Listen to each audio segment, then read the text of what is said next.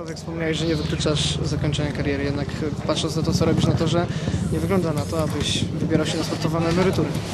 Znaczy, wygląda tak, że wiadomo, jakaś sytuacja, KSM i tak dalej, tu się nie łapy, a, a nie, nie mam zamiaru pukać gdzieś po drzwiach. Jakby, powiedziałem wcześniej, jakby była jakaś fajna oferta i dwustronnie byśmy się dogadali, to jestem na tak, bo oczywiście przyjemność to dalej mi to sprawia. Myślałem, że będzie gorzej, ale tak na kasach poruszać się zajebiście. A miałeś jakiekolwiek oferty? Mówisz konkretne, a jakiekolwiek?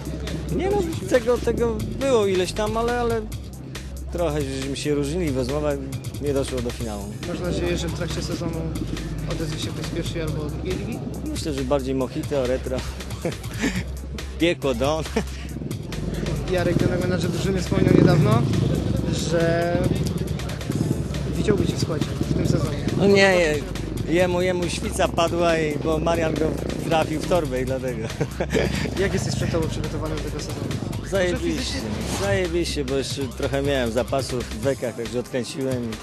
e, Na sprzętu no, nie narzekam. A jak przygotowywałeś się do sezonu? Coś z Najmanem? Uuu, nie Waliłem go po sutkach, także przygotowany jestem zajebiście.